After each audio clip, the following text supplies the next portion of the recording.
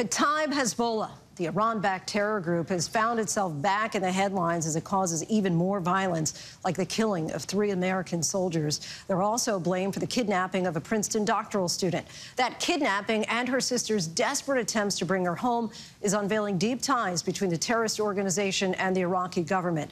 Jay O'Brien has this in depth investigation in tonight's Prime Focus.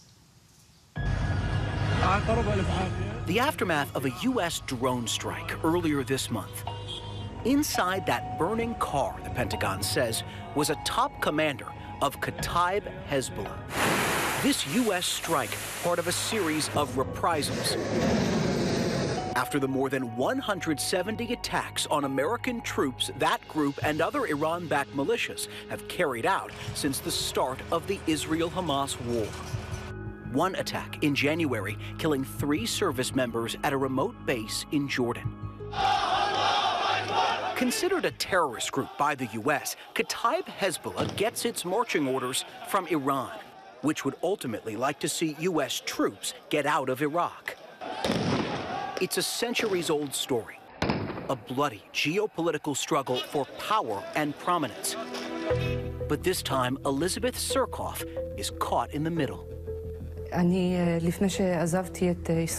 This was the last known image of what appears to be Elizabeth. A hostage video released on the Iraqi TV network Al Arabiya last November. In it, she falsely claims to be both an Israeli spy and a CIA agent.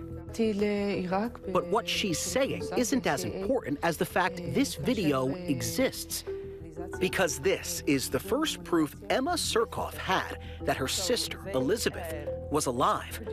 After she was kidnapped, both the U.S. and Israeli governments say, by Kataib Hezbollah, seven months before this video was released. What was it like seeing that? Roller coaster of emotions. I mean, she's she's alive, um, and she looked afraid. She looked terrified. She doesn't scare easily at all. And the sheer terror in her eyes was just gut wrenching. Emma and Elizabeth are inseparable, best friends, just a year apart. That's us. Emma lives here in the U.S. Elizabeth is a Princeton doctoral student here on a student visa with dual Russian and Israeli citizenship. She traveled from her home in New Jersey to Baghdad because, as her sister tells us, Elizabeth is passionate about researching the Middle East directly at the source.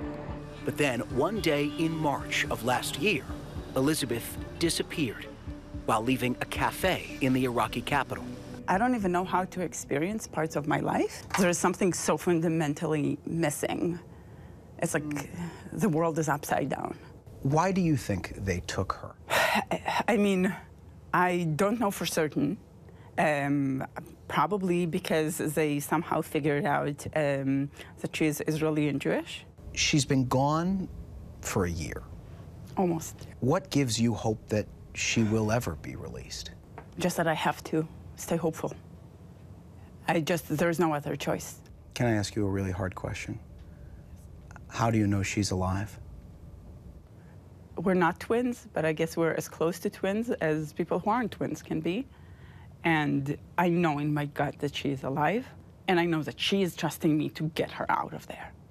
That's why Emma is here on Capitol Hill, pushing U.S. policymakers to lean on Iraq to get her sister out. She believes Iraqi officials hold the keys to Elizabeth's survival because of the deep, controversial ties between the Iraqi government and that terrorist group holding Elizabeth, Kataib Hezbollah. A connection, she says, many Americans may not realize exists. They're roaming the halls of power in Baghdad freely and happily. They're not hiding, they're not, they don't feel shame. And they for have your what they've sister. done. Yes, that's the part that just drives me crazy. Kataib Hezbollah is considered the most powerful part of a group called the PMF, or the Popular Mobilization Forces, a constellation of militias cobbled together in Iraq a decade ago. For years, they were used to fight ISIS, and after its defeat, their strength within the country only grew. They now boast a budget in the billions from the Iraqi government.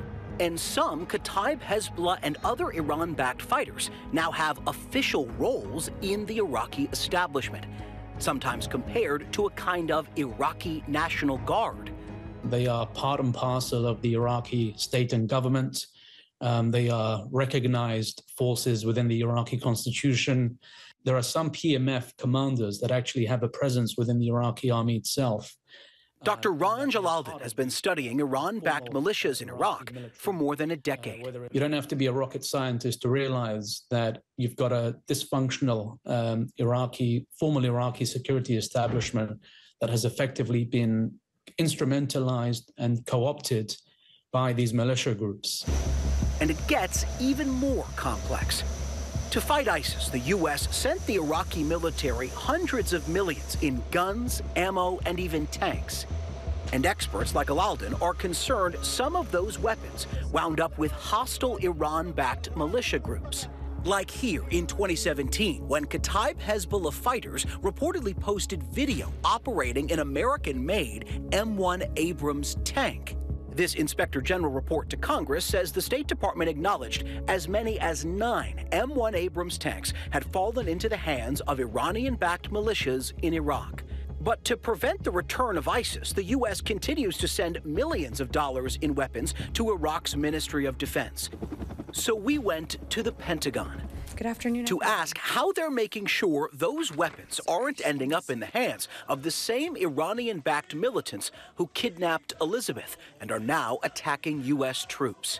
Is the U.S. government concerned that weapons and other security assistance we send to the Iraqi Ministry of Defense could wind up in the hands of PMF and Kataib Hezbollah fighters? Well, we're confident in our um, end use monitoring that we have in Iraq. So I think we're pretty confident in um, our coordination when it comes to the Iraqi security forces. She went on to tell us the official position of the Department of Defense is that terrorist group holding Elizabeth and attacking U.S. troops, Kataib Hezbollah, or KH, is not part of that Iraqi government backed paramilitary organization, the PMF. KH is not part of the PMF. But this 2023 report from inspectors general for the Department of Defense and State lists Kataib Hezbollah as one of at least four Iran aligned militias that have attacked U.S. forces, while also being part of the PMF, an umbrella group of militias that receives funding from the Iraqi government. Is it fair to say that the same paramilitary groups that are shooting at American soldiers in Iraq right now are also part, in a way, of the Iraqi government. Well, absolutely. And that presents a tricky conundrum uh, for both the uh, Iraqis, but also you know, the, the Americans. And Emma firmly believes the U.S. could help free her sister by leaning on the Iraqis, which could then talk to Kataib Hezbollah. The only thing standing between her and freedom is a stern enough phone call from Washington, D.C. to Baghdad telling the Iraqi government, you need to get her out. This is not sustainable. She cannot stay there. Do you think the Iraqi government knows where she is? Yes. I know that they know who to ask if they don't right this moment.